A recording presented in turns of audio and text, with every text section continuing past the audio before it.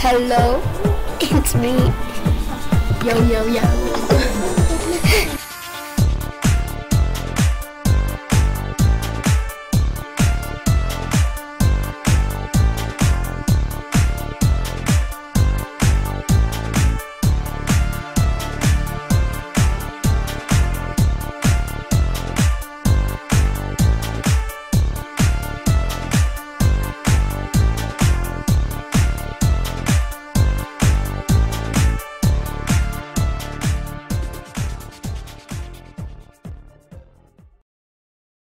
Created using Powtoon.